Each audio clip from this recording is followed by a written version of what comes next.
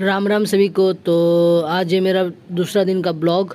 तो मैं आ चुका हूँ रेलवे स्टेशन क्योंकि अपने मामू को मतलब खाना देने के लिए जो अपना मामा आ रही है ट्रेन पे तो उनका उन्होंने बोला खाना लेके आओ हम खाएँगे। तो उनके लिए खाना लेके आ चुके हैं। तो अभी ट्रेन आ रही है इधर से। आप लोग ट्रेन भी आ चुकी है। तो गाइस ये इस डब्बे पे है मेरे मामू ये वाला हाँ ये मेरा मामा है। आपका गिफ्ट पकड़ो। क्या हाल चाल बताओ? हाँ? शेयर मार्केट की मालिक देखो।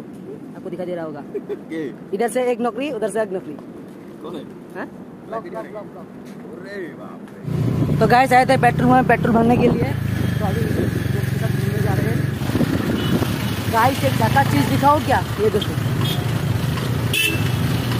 ये बरपटा रोड की परिस्थिति। मिनी ब्लॉक्स की तो गाइस आज के लिए इतना ही। मिलते हैं नेक्स्ट मिनी ब्लॉग पे। Bye bye